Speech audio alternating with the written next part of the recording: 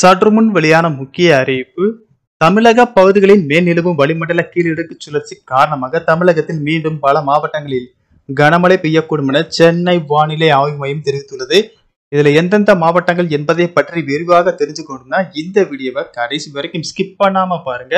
இப்பதான் நம்ம சேனலுக்கு ஃபர்ஸ்ட் டைம் பாருங்கன்னா சப்ஸ்கிரைப் பட்டனை ப்ரெஸ் பண்ணிக்கோங்க கூடவே பில் ஐக்கான் பட்டனையும் ப்ரெஸ் பண்ணிக்கோங்க தமிழக பகுதிகளின் மேல்நிலவும் வளிமண்டல கீழடுக்கு சுழற்சி காரணமாக இன்று தமிழ்நாடு புதுச்சேரி மற்றும் காரைக்கால் பகுதிகளில் ஒரு சில இடங்களில் இடி மின்னலுடன் கூடிய லேசானது முதல் மிதமான மழை பெய்யக்கூடும் கோயம்புத்தூர் மாவட்டத்தின் மலைப்பகுதிகள் நீலகிரி ஈரோடு கிருஷ்ணகிரி தருமபுரி திருப்பத்தூர் வேலூர் நாமக்கல் திருச்சிராப்பள்ளி கரூர் திண்டுக்கல் மதுரை மற்றும் தேனி மாவட்டங்களில் ஓரிரு இடங்களில் கனமழை பெய்ய வாய்ப்புள்ளது மேலும் இன்று அடுத்த மூன்று மணி நேரத்தில் கிருஷ்ணகிரி தருமபுரி சேலம் நாமக்கல் வேலூர் திருப்பத்தூர் திருவண்ணாமலை கோவை தேனி திண்டுக்கல் மதுரை சிவகங்கை மற்றும் ராமநாதபுரம் மாவட்டங்களில்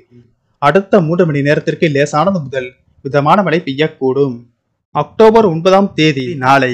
தமிழ்நாடு புதுச்சேரி மற்றும் காரைக்கால் பகுதிகளில் ஒரு சில இடங்களில் இடி மின்னலுடன் கூடிய லேசானது முதல் மிதமான மழை பெய்யக்கூடும் மேலும் கோயம்புத்தூர் மாவட்டத்தின் மலைப்பகுதிகள் நீலகிரி ஈரோடு கிருஷ்ணகிரி தருமபுரி திருப்பத்தூர் வேலூர் திருவண்ணாமலை கள்ளக்குறிச்சி சேலம் நாமக்கல் திருச்சிராப்பள்ளி கரூர் திண்டுக்கல் மதுரை மற்றும் தேனி மாவட்டங்களில்